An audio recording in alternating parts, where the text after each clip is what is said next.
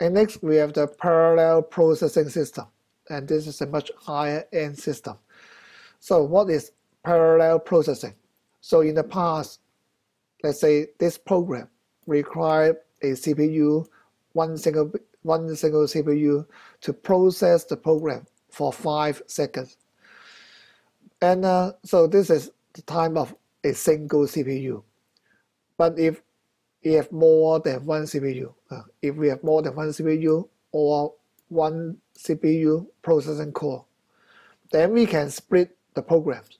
Let's say we split the program into five parts, five smaller programs. And then we have five CPUs. And now the situation will becomes that each CPU will only need to process the subprogram for one second. But these one second, they are occurring at the same time. That means you need only about one second to process the whole program. But they have to be split into five parts. The programs are, are split and executed by several CPUs at the same time. And after that, the process results are then recombined. And therefore, a parallel processing system will save the user a lot of time because the several CPUs they are working together at the same time.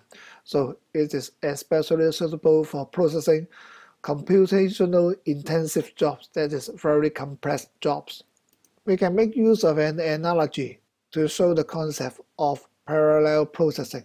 For example, we have five cars here and we have a single toll. So let's say if a car need one second to pass through the toll, then five cars in the series will need five seconds to pass through the toll. But what if we have five tolls working together? So one, two, three, four, five tolls altogether.